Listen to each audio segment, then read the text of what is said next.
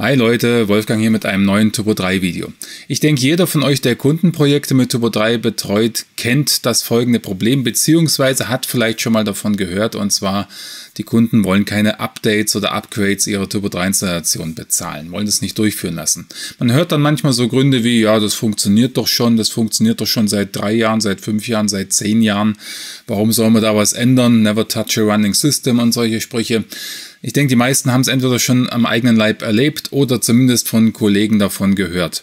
Und deshalb möchte ich euch jetzt in diesem Video mal sieben Gründe nennen, warum ein Turbo 3 Upgrade, Update sinnvoll ist, beziehungsweise eigentlich fast Pflicht ist. Grund 1, Fehlerbehebungen und Sicherheitslücken. Ja, jedes Update oder viele Updates äh, schließen Sicherheitslücken oder beheben Fehler. Das heißt, das System wird ja mit jedem Update kontinuierlich verbessert. Das sind auch die sogenannten Minor Updates, ja, wo man im großen Versionszweig bleibt, aber es kommen immer wieder diese kleinen Updates. Meistens werden eben Fehler behoben und ab und zu alle paar Wochen, paar Monate werden eben auch Sicherheitslücken geschlossen. Das sind teilweise ähm, leichte Sicherheitslücken, die jetzt nicht so schlimm sind, aber manchmal sind es halt auch wirklich relevante Sicherheitslücken, die den Betrieb einer Website gefährden können, wenn man sie nicht behebt. Und vor allem, wenn dann eben Kundendaten im System sind, ganz schwieriges Problem. Da kommen wir aber nachher noch dazu, beim letzten Grund. Bei Upgrades ist es natürlich auch so, ja, wenn ihr jetzt ein Major Upgrade macht, zum Beispiel von Typo 3.9 auf 10, dann von 10 auf 11 und so weiter, auch da werden natürlich Fehler behoben, neben ganz vielen anderen Punkten. Und da kommen wir jetzt auch schon zu Punkt 2 eine bessere Performance. Gerade bei Upgrades ist es meistens so, dass sich die Performance von Turbo 3 verbessert. Es gab früher vor ein paar Jahren da mal ein paar Probleme, muss ich zugeben, der Wechsel von Version 4 auf Version 6. Da war die Version 6 tatsächlich langsamer als die Version 4, aber inzwischen ist es nicht so äh, oder nicht mehr so. Jede äh, neue Turbo 3 Version, 8, 9, 10, 11, die wurden eigentlich immer schneller, auch im Backend von der Bedienung her. Also die Performance ist ein wichtiger Faktor wenn eben die Leute, deine Kunden viel im Backend auch arbeiten, dann werden sie das deutlich spüren, dass die neuen Versionen tatsächlich schneller sind. Punkt 3, SEO, Suchmaschinenoptimierung. Seit einigen Versionen hat Typo 3 ja eine Systemextension namens SEO, die also sehr viele Funktionen schon nachrüstet, die man davor mit Fremdextensions äh, installieren musste. Das fängt zum Beispiel damit an, dass man den Titel der Seite besser beeinflussen kann, dass man steuern kann, soll die Seite indexiert werden, sollen die Robots den Links folgen und so weiter. Dann kann ich auch, das gehört auch in diesem Bereich, zum Beispiel für Facebook und Twitter äh, Grafiken hinterlegen, eigene Beschreibungen und so. Ist jetzt zwar nicht direkt SEO, aber spielt da so ein bisschen mit rein. Also da bietet Turbo 3 inzwischen sehr viel, was mit alten Turbo 3 Versionen gar nicht möglich war oder eben halt nur, wenn man eine Fremd-Extension, eine Dritt-Extension installiert hat. Also wenn deine Kunden Wert auf Suchmaschinenoptimierung legen und gut bei Google und Co gefunden werden wollen, wäre das eventuell auch ein Argument. Punkt 4. Bessere Usability.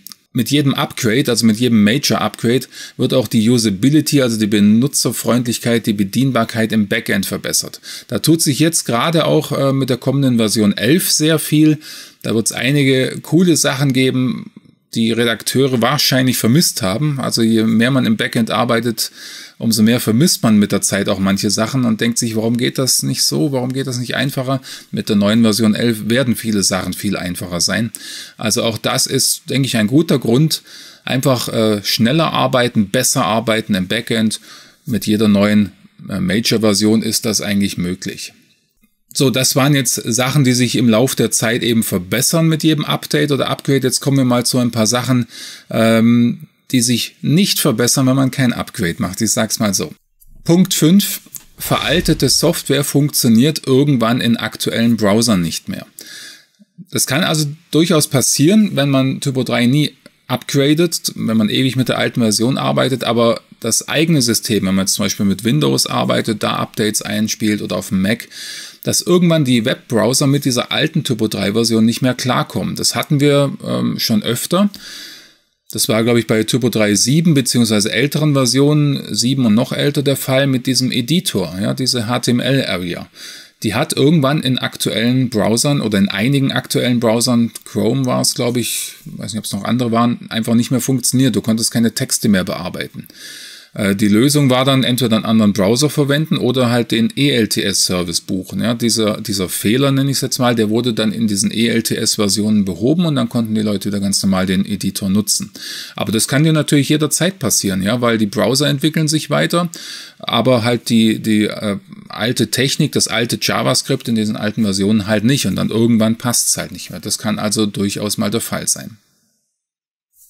Punkt 6 alte Turbo 3 Versionen werden irgendwann auf dem Webserver vielleicht nicht mehr laufen. Das hatten wir jetzt in den letzten ein bis zwei Jahren. Da wurden veraltete PHP-Versionen bei den meisten Webhostern abgeschaltet, weil die auch nicht mehr gepflegt werden. Ja, PHP 4, 5 ähm, und so weiter, teilweise auch schon PHP 7.0, 7.1 wird nicht mehr unterstützt bei manchen Webhostern.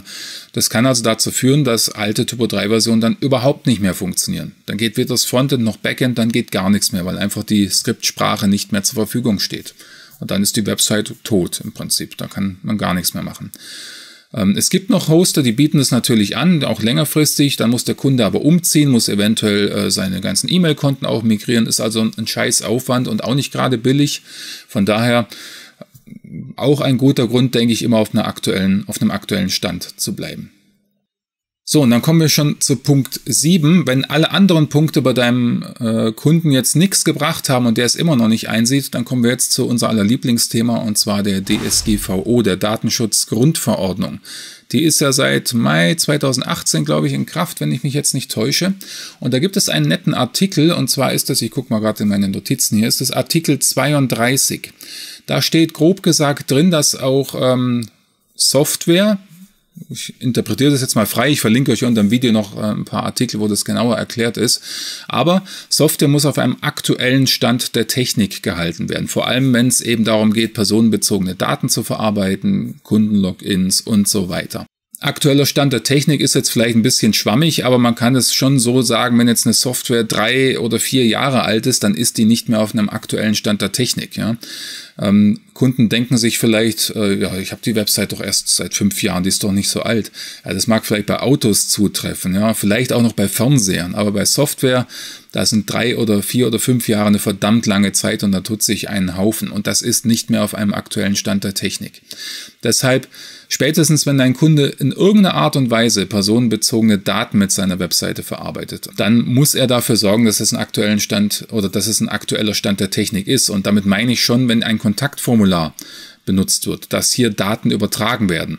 Sollte man dann übrigens auch per SSL verschlüsseln, nochmal ein anderes Thema. Ja. Aber schlimmstenfalls, ihr habt irgendeinen Online-Shop oder eine Mitgliederverwaltung oder irgendwas, wo sich Leute einloggen können und ihre Daten, und wenn es bloß eine E-Mail-Adresse und ihr Name ist, hinterlegen, dann müsst ihr darauf achten, beziehungsweise euer Kunde. Und es ist jetzt tatsächlich der Fall, diesen Artikel verlinke ich euch auch. Es wurde vor kurzem, jetzt muss ich mal kurz in meine Notizen hier nochmal schauen, äh, damit ich euch nichts Falsches sage, genau ein Unternehmen aus Niedersachsen wurde vor kurzem auf ein Bußgeld von 65.500 Euro verklagt, beziehungsweise musste es zahlen, äh, weil sie eben nicht auf einem aktuellen Stand der Technik waren. Im konkreten Fall war es eine veraltete Version des äh, Shopsystems XT-Commerce. Da wurden die Passwörter halt nicht sicher gespeichert. Ich weiß nicht, ob die komplett im Klartext waren oder was genau da im Details Problem war. Wie gesagt, ich verlinke euch den Artikel unter dem Video. Und die dürfen jetzt 65.500 Euro Bußgeld zahlen, weil sie sich eben nicht an die DSGVO gehalten haben. Also wenn alle anderen Argumente, die ich euch jetzt genannt habe, nicht zählen, dann zählt vielleicht das, weil es kann richtig scheiß teuer werden, wenn da nicht äh, sauber gearbeitet wird, sage ich jetzt mal. So, das waren jetzt sieben Punkte, die ihr vielleicht bei euren Kunden anbringen könnt, wenn es mal wieder um das leidige Thema geht. Sollen wir updaten oder upgraden oder nicht? Das ist doch so teuer und das funktioniert doch alles. Ja, wenn man es nicht macht, kann es noch viel teurer werden. Das wisst ihr jetzt und ich hoffe, das Video bringt euch was. Wenn es euch gefallen hat, lasst gerne einen Daumen hoch da, abonniert den Kanal, schreibt auch gerne in die Kommentare, wie eure Erfahrungen damit sind. Habt ihr Traumkunden, die sagen, ja, hau alle Updates rein, ich zahle das alles, ist kein Problem? Oder habt ihr eher so die Kunden, die auf jeden Cent achten und ähm, so never touch a running system sagen? Interessiert mich mal, schreibt es gerne mal in die Kommentare. Macht's gut, bis dann.